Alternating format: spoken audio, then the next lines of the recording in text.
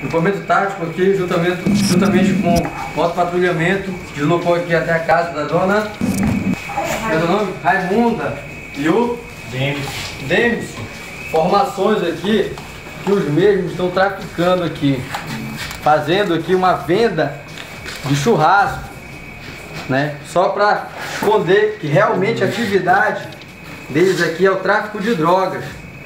Olha aqui, a quantidade foi encontrada pelo grupamento tático juntamente com o moto patrulhamento aqui da cidade. Mais uma ocorrência com êxito. Material que foi utilizado. Confere aí, soldado Pereira. Positivo, a barrilha, papel para enxugar o entorpecente e Esse material todo ele faz parte da manipulação, né? Para fazer, no entanto, né? A tão cobiçada aí pelos traficantes aí, né? A parte da base, da cocaína, né? Para que seja comercializada aqui pela Grande Salinópolis, né? O grupamento tático, juntamente com a, com a GU do Moto Patrulhamento aqui de Salinópolis, tem empenhado, se empenhado aqui em é, prender traficantes, não é isso? E hoje recebeu uma denúncia por diversas vezes é, desta residência. É, agora eu pergunto, é, eles já são conhecidos aqui da área? Positivo, são todos conhecidos, todos conhecidos. Alguns deles já têm passagem já por tráfico.